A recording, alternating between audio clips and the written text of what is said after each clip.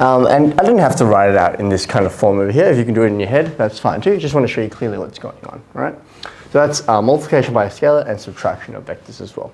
Part three is going to be a little bit different. Part three, we're going to find the magnitude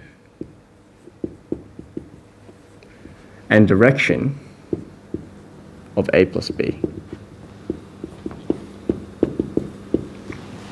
And so I mentioned earlier the formulas that are involved. Well, what are actually these things? For the magnitude, you can think about the length of the vector. And for the direction, you can think about um, the angle of the vector that it creates. And these are actually also how we define vectors, right? Because this line over here, how do you kind of define it? Well, it's got some length, and it's got that arrow there, so it's pointing in a particular direction. Right? That's actually what defines a vector. It's not actually the position on the Cartesian plane. You can move a vector all the way around and it doesn't actually change its length or it, where it's pointing to, if you just literally pick up the arrow and move it around the Cartesian plane, that's actually the same vector, okay? Now, um, the formulas are involved already, I mentioned were Pythagoras' theorem and tan. Um, let me explain a bit about what's going on there. So first of all, A plus B, what's that gonna look like visually? Well, we have an idea of what that looks like visually.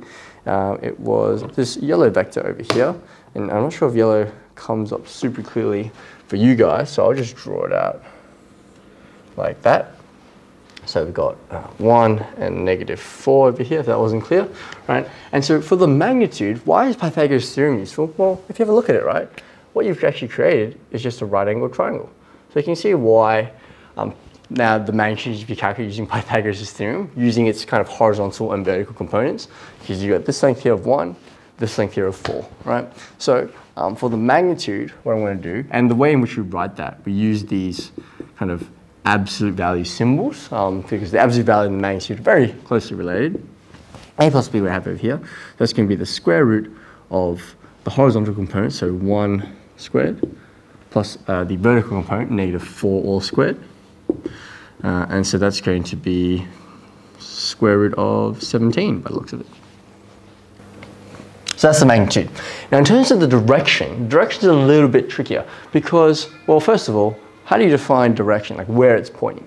Um, it depends on the situation because um, if you're thinking about the Cartesian plane, typically we let this horizontal axis here, if you think about your unit circle, we'll let this guy be zero degrees, right? So if that guy is zero degrees, then um, I'm going all the way around over here and I'm creating a pretty big reflex angle if I want it to go all the way around like that, okay? How are we gonna find that angle? Well, going back to our right angle triangle idea, if I just have theta over here, right? And that's my theta angle, then I can actually use trig to do that. You've got this vertical component and you've got this um, horizontal component.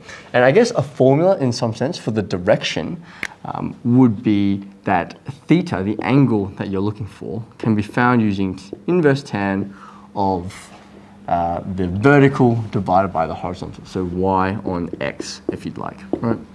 And for a and b, that's going to be inverse tan of negative 4 on 1. Now when you put that in your calculator, let's double check this one. You're going to get negative 75 degrees and let's round here, 58 minutes, right? What does that actually mean though? Well, because this angle here is clearly positive, and it's because you've used the negative 4 value up here.